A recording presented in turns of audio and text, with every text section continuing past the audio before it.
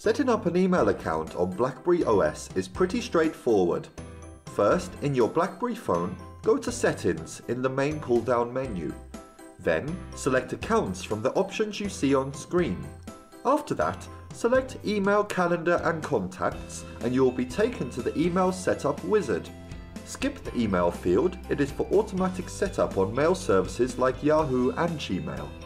You need to click on the Settings button at the bottom and go to the Advanced Setup section. There, you will have to select IMAP as the type of email account.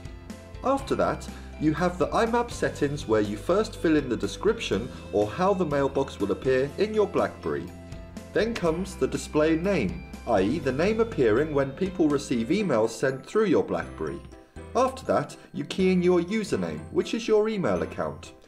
Next, fill in the email address again and then enter the password you have set up in the email manager. Then enter the IMAP mail server. You can take it from the welcome email we send you in sign up. The IMAP port is next. It should be 143.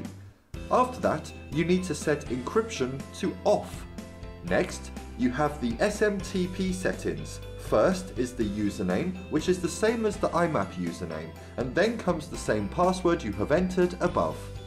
Finally is the SMTP mail server, which is again the same as the IMAP mail server. The SMTP port should be set to 25. Then you have some BlackBerry mail settings. For instance, you can stop messages from downloading automatically when you are in roaming to save traffic. When done, allow a few seconds for the new settings to be saved and verified by your BlackBerry. Once this is done, you will see the new mailbox set on your BlackBerry and ready to use. That's it, now you know how to set up an email account on your BlackBerry device.